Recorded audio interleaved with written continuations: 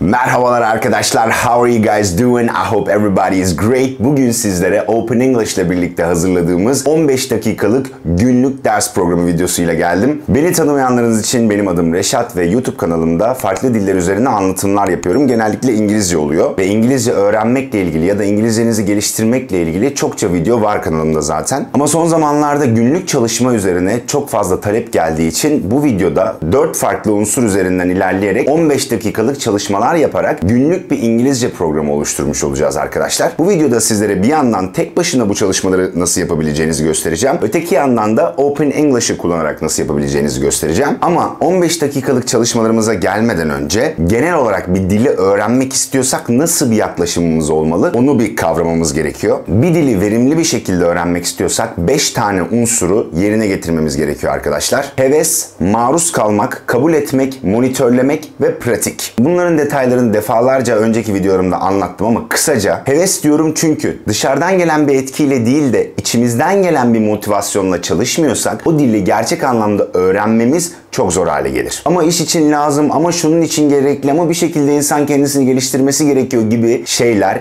yeterli hevesler değildir. Gerçek hevesler değildir daha doğrusu. İçimizden evet ya ben bunu merak ediyorum, ben bunu öğrenmek istiyorum, anlayabilmek, konuşabilmek istiyorum gibi dürtülerin olması şart. İkincisi maruz kalmak, maruz kalmanın öneminin altını ne kadar çizsem azdır. Yaşayan bir dili gerçek anlamda idrak etmek istiyorsam sürekli olarak duymak zorundayım, görmek zorundayım. Eğer o dilin konuşulduğu ülkede yaşamıyorsam o zaman kendime bir şekilde suni bir dil ortamı yaratmam gerekiyor. Kabul etmek diyorum çünkü sadece maruz kalmak da yetmiyor. Maruz kalarak ama o bilgileri bloke ederek hiçbir yere varamayız. Yani o girdiği bir yerden alıyorum ama buradan girip buradan çıkıyorsa çok fazla bir şey ifade etmiyor. Gerçekten onu duyup, algılayıp anlamaya çalışmam da gerekiyor. Monitörlemek, ah şu monitörlemek o kadar önemli bir adımdır ki monitörlemekten kastım duyduklarımızı bildiklerimizle ölçmek. Yani ya tasdiklemek ya da tasdikleyemeyerek yeni bir şey öğrenmek. Türkçeden örnek vereyim. Şu anda şöyle bir cümle kursam. Ben eve gidiyorsun. Her biriniz diyecektir ki aa bu cümlede bir hata var. Ben eve gidiyorsun diye Türkçe bir cümle yok. Yanlış. Ne yaptınız burada? Duyduğunuz bir şeyi bildiklerinizle yalanladınız. Dediniz ki ben Türkçe biliyorum. Bütün kuralları da biliyorum. Yani böyle bir cümle yok Türkçede. Değil mi? Şimdi İngilizce dinlediğinizde, duyduğunuzda benzer bir şey yapmanız gerekiyor. İngilizceye yeterince hakim değiliz çünkü ana dilimiz değil ama bildiklerimizle duyduklarımızı ölçebiliriz. Ve bu şöyle olur. Bildiğimiz belirli bir miktar kurallar ve kalıplar var ve bunları duyduğumuzda şunu yapmamız gerekiyor. Ha evet doğru ya benim bildiğim gibi konuşuyor bu adam. Evet evet yani örtüşüyor şu anda. Ya da tıpkı az önceki Türkçe örneğindeki gibi Allah Allah ama bu benim bildiğim gibi konuşmuyor yanlış olmalı bu diyerek ya bir hatayı deşifre edeceksiniz ama şöyle bir şey de var. Ana dili İngilizce olan biri neden hata yapsın değil mi? Dolayısıyla bizim burada öğreneceğimiz şey şu. Ha benim bildiklerimin dışına çıkan bir şey var burada. Demek ki böyle bir şey de var. Bunu da öğrenmem gerekiyor. Monitörlemenin önemi bu yüzden bu kadar büyük. Sürekli bunu yaptığınızda monitörlemenin size getirdiği faydalara inanamayacaksınız. Ve pratik. Pratik belki de en büyük eksiğimiz ve bir o kadar da en önemli olan şey. Çünkü bir dili öğreniriz, duyarız, algılarız ve çalışırız, yazabiliriz. Okey ama konuşmadığımız sürece ham bir bilgi olarak beynimizin bir köşesinde kalır ve bir noktadan sonra körelir. Zaten bir dili konuşmak için öğrenmiyorsak niye öğreniyoruz onu her zaman sorgulamışımdır. Şimdi bütün bunları kale alarak böyle bir zeminin üstüne oturtursak yaptığımız çalışmaları ancak o zaman kayda değer güzel bir sonuç alabiliriz. Şimdi gelelim çalışmanın kendisine. Şimdi 15 dakika diyorum ama aslında 4 tane farklı çalışma var burada ve her biri 15 dakika. Yani istiyorsanız her gün bu 15'er dakikayı uygulayarak totalde günde birer saat çalışmış da olabilirsiniz ya da e, günde birini 15 dakika yapıp diğerini ertesi gün yapıp bu şekilde her gün 15 dakika çalışmış olabilirsiniz. Tabii ki ne kadar çok çalışırsanız o kadar çok verim alırsınız. Bana soracak olursanız 4 kere 15 dakikayı 5 gün boyunca yapmanız yani totalde haftada 5 saat çalışarak İngilizcenizi çok çok iyi bir noktaya getirebilirsiniz. Ben yine çok idealist davrandığım için günlük çalışmamızı 4 kere 15 dakika diye düşünüyorum ve haftada 5 gün olmak üzere totalde haftada 5 saat olarak. Yani şöyle düşünün haftaya başlıyoruz. Günde 1 saat çok büyük bir süre değil. İlk 15 dakikalık çalışmamız okuma olacak arkadaşlar. Gözlerimizin görmesi gerekiyor, okumamız gerekiyor. Ve ben her zaman yaşayan dille ilgilenmeyi kıymetli görürüm. Güncel terimlere maruz kalmayı çünkü mühim olarak nitelendiririm. Bu Shakespeare okumak kötüdür, mantıksızdır anlamına gelmez ama yaşayan dili, günümüzün dilini okumak ve görmek ve buna maruz kalmak her zaman daha verimli ve konuşmaya dayalı, pratiğe dayalı güzel bir çalışma olacağını düşünürüm ben. Peki ne okuyacağız Shakespeare okumayacaksak? Ben bunun için çok keyifli ve pratik bir çözüm buldum aslında kendimce. E, ve bu bana çalışmak gibi gelmiyor açıkçası. Hepimiz Instagram kullanıyoruz diye düşünüyorum ya da birçoğumuz en azından. E, kullanmayanlar da en azından Instagram'ın ne olduğunu biliyor. Ben Instagram'da böyle 10-15 tane gazete takip ediyorum ve bu gazetelerin paylaştıkları makaleleri okuyorum. Hem bu şekilde güncel bilgilere sahip oluyorum hem de İngilizcemi bu şekilde geliştirmiş oluyorum. Nedir bu sayfalar? New York Times, BBC, CNN, The Guardian, Vice World News. İsterseniz It's Reşat Instagram sayfamı takip alabilirsiniz. Oradan benim takip ettiğim gazeteleri ve haber kaynaklarını da takip edebilirsiniz. Ve ben sürekli olarak zaten Instagram'da kendi storylerimde ve postlarımda bu tarz benzer içerikler paylaşıyorum. Ayrıca bu bahsettiğim 15 dakikalık çalışma bu şekilde size bir 15 dakikalık çalışma gibi de gelmiyor. Her ne kadar kısa bir süreden bahsetsek de Instagram'da zaten gezerken aa ne olmuş dünyada bir yer yanmış, bir şey patlamış, biri birine laf etmiş, birileri ayrılmış, gıybet var, bir şey var, olay var. Okuyorsunuz İngilizce ve ben bu konuda hiç kulluk taslamayacağım. Ana dilim olmasına rağmen İngilizce sürekli olarak her gün yeni kelimeler öğreniyorum ve bana bir çalışma gibi gelmiyor. Ben orada güncel bir olayı takip etmeye çalışıyorum ve aha aha bu olmuş. Aa okey okey diye İngilizcemi belki de 15 dakikadan çok daha fazla bu şekilde geliştirmiş oluyorum. Open English'e gelecek olursak Open English'in uygulamasında müthiş bir kısım var. Göstereyim size. Burada uygulamaya giriyorum ve haberler kısmına geliyorum. June 6th, 2022. Ne diyor? Remembering D-Day. Güncel bir haber bu.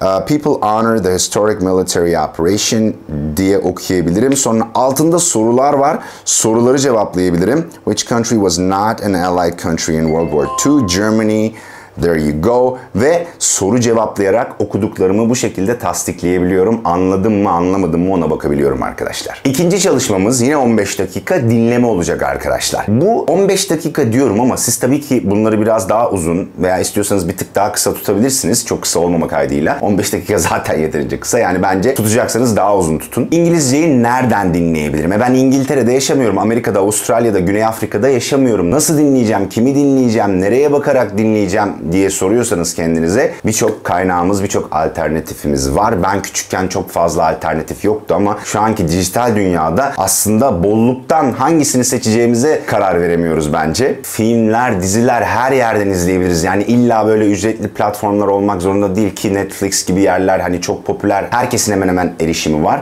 Ama en basitinden YouTube'a girip e, herhangi bir YouTuber'ı izleyebilirsiniz. YouTube dizileri var. Onları izleyebilirsiniz. Ben mesela Liza Koshy'yi çok beğeniyorum çok komik buluyorum. Ve onun hem kendi YouTube videoları var. Amerikalı bir kız kendisi. E, hem de YouTube'da dizisi var. Yani ücretsiz izleyebileceğiniz bir YouTube dizisi. Ve e, ben bunları çok verimli buluyorum açıkçası. Çünkü ben aslında bunları yaparken çalışıyormuş, ödev yapıyormuş gibi hissetmiyorum. Dolayısıyla çok keyifli bir hal alıyor. Çünkü dizi seyrediyorum sonuç olarak. Burada önemli olan şey tabii ki az önce de bahsettiğim önemli adımları unutmamak arkadaşlar. Maruz kalıyoruz bir bilgiye evet ama bunu hem kabul etmek hem monitörlememiz gerekiyor unutmayın. Yoksa altyazıyı okuyarak da aa ben İngilizce pratik yaptım, İngilizce şey yaptım. Yani kandırmayın kendinizi. Bilgiyi görün, duyun, kabul edin ve monitörleyin ve yeni bir şey öğrenmiş olun. Ve bu çalışma tabii ki 15 dakikanın çok daha üstünde olabilir. Çünkü atıyorum bir film seyredeceksiniz. 2 saatlik bir film. 2 saatlik bir çalışma yapmış oluyorsunuz. Ama böyle kompakt, daha keyifli, kısa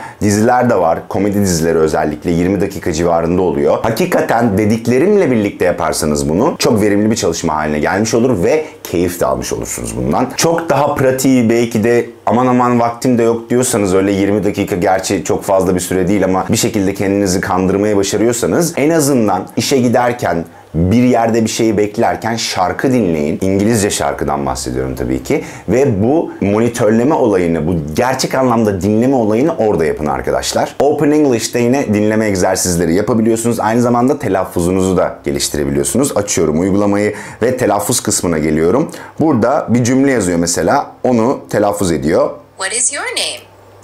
What is your name?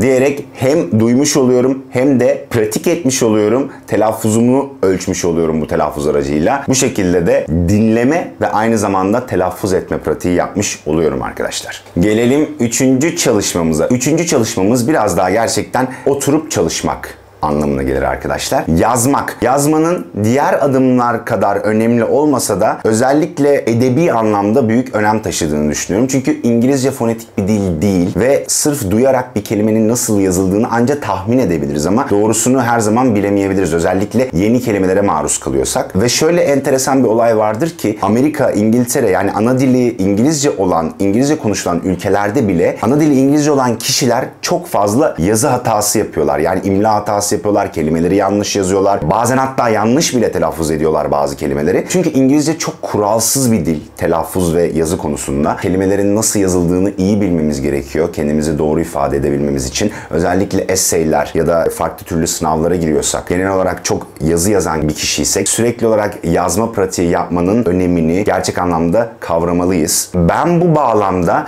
bir günlük yazmanızı tavsiye ederim. Ben bir aralar bunu böyle yapıyordum. Zaten okulda e, yazmayı çok seven biriydim. Kompozisyonlar yazmayı çok severdim ama ara ara İngilizce böyle notlar alıyordum ve bunları bir günlük gibi biriktiriyordum. Her ne kadar böyle günde yaşadığım şeyleri anlatmasam da farklı olaylar vardı orada. Biraz heyecanlı bir çocuktum ben. Her akşam eve geldiğinizde işte ne bileyim dişlerinizi fırçaladınız, duşunuzu aldınız, işte cilt bakımınızı yaptınız. Ne yapıyorsanız artık akşamları yatağa yatmadan önce bir 15 dakika ayırın kendinize. Bir düşünün ne yaptım ben? E bunları bir kaleme alayım. Hem güzel bir katarsis olur hem de İngilizcenizi bu şekilde kaleme dökerek bir nevi pratik etmiş olursunuz arkadaşlar. Burada şuna dikkat etmenizi tavsiye ederim. Kullandığınız kelimeleri ve kalıpları ardından yine monitörleyin. Yani ben mesela günlüğümde bunları bunları yazdım ve başka bir yerde benzer şeylere denk geldim ya da bu kelimeyi kullandım. Mesela pleasure kelimesini kullandım günlüğümde. Bir yerde pleasure kelimesini okuduysam veya duyduysam ben bunu bu bağlamda doğru kullandım mı diye kendimi tekrar aslında denetlemiş olurum. Ben bunu çok fazla yapıyorum. Kafamda sürekli durmayan bir şey bu aslında. Hani kullandığım şey doğru muydu? Ya da o adam da öyle kullandı mı kullanmadıysa ben mi yanlış kullandım gibi şeyler benim aklımdan çok fazla geçiyor. Böyle olursanız bunun aşırısı da fazla olabilir ama genel olarak size her zaman yardımcı olacak bir düşünce yapısıdır bu. Open English'te ise interaktif videolar diye bir kısım var. Burada mesela The Awesome Product Adventure diye bir videoya tıklıyorum. Videoyu buradan seyrediyorum. Okey, izledim diye farz edelim. Learn the words. Duydum ve buradan yazıyorum.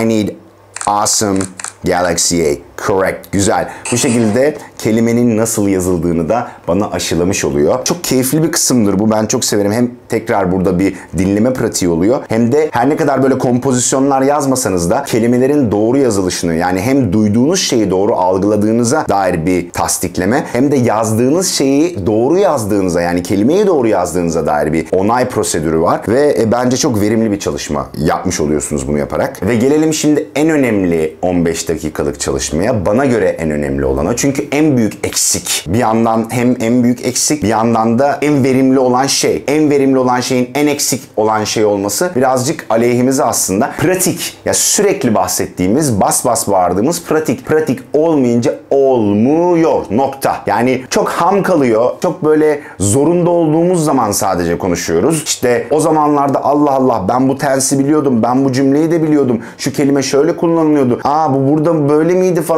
diye çok fazla düşünme prosedürüne giriyoruz ve tökezliyoruz bir nevi. Dolayısıyla ne kadar pratik o kadar iyi. Bu kadar basit. Pratik etmenin aslında yolları bir şekilde İngilizce bilen bir arkadaş edinmek ama burada önemli olan aslında ana dili İngilizce olan bir arkadaş edinmek olur. Çünkü ana dili İngilizce olmayan kişiler hatalar yapabilirler. Özellikle biz monitörleme prosedürüne girecek olursak yanlış bir İngilizceyi monitörlersek onu doğru kabul ederek bizi farklı yanlışlara sürükleyebilir. Dolayısıyla ana dili İngilizce olan bir kişiyle konuşmak her zaman daha verimli olacaktır. Burada işte internette çok fazla araçlarımız var aslında. Hani bir şekilde arkadaş edinme araçları. Ben mesela online oyunlar oynayarak dünyanın her bir yerinden insanlarla tanışarak sürekli o şekilde İngilizcemi pratik ettim, ayakta tuttum, geliştirdim vesaire. Ama günümüzde işte farklı opsiyonlarımız da var. Burada yine Open English müthiş bir kaynak olarak size fayda sağlıyor arkadaşlar. Çünkü hem her yarım saatte bir 7-24 dersler var katılabildiğiniz sınırsızca hem de birebir online ana dili İngilizce olan profesyonellerle birlikte ders yapma şansınız var. Bu şekilde İngilizcenizi sürekli olarak pratik edebilirsiniz. Dediğim gibi bu 15 dakikalık çalışmaların her birini aslında her gün yapmanızı tavsiye ederim. En az yani haftada 5 kere, 5 gün olmak üzere. Çok böyle ekstrem bir süre değil aslında baktığınızda 5 saat. Ve temelinde güzel olan şey şu. Bunların birçoğunu yaparken çalışıyormuş gibi hissetmiyorsunuz. Sadece tüm bunların farkında olarak bunları yapıyor olmanız sizler için verimli bir çalışma olmuş olacak. Zaten gündelik hayatta yaptığımız şeyleri lehimize çevirmiş oluyoruz aslında burada baktığınızda. Gerçek anlamda isteyerek bir hevesle buna yaklaşıyorsak bütün bu adımları uyguladığımızda çok kısa bir sürede çok büyük bir verim alacağımızı ve İngilizcemizi kat ve kat geliştireceğimizi ben zaten yaptığım çalışmalarda görüyorum. E, yıllardır İngilizce eğitimler veriyorum ve kimin bu şekilde yaklaştığını ve kimin yaklaşmadığını ve bunun doğrultusunda kimin ilerlediğini ve kimin çok az, çok yavaş ilerlediğini gözlemleyebiliyorum. Ve tam da şu anda Open English'in dev bir indirimi var. Gerçekten çok çok ucuz bir fiyata denk gelmiş oluyor. Açıklama kısmındaki linke tıklayarak limitli bir süre için verilmiş olan bu indirimden faydalanabilirsiniz. Dediğim gibi kanalımda genel olarak zaten bu tarz videolar çekiyorum. Henüz abone olmadıysanız mutlaka abone olun. Çünkü sürekli olarak bu tarz videolar paylaşacağım. Ara ara vlog gibi şeyler de paylaşıyorum ama o vloglarda bile her zaman İngilizce açısından bir verim bulabilirsiniz. Videoyu beğendiyseniz bu arada beğeniye tıklamayı unutmayın. Ayrıca video ile ilgili düşüncelerinizi yorum kısmına bırakmayı unutmayın arkadaşlar. Bir sonraki videomda görüşmek üzere. Take care!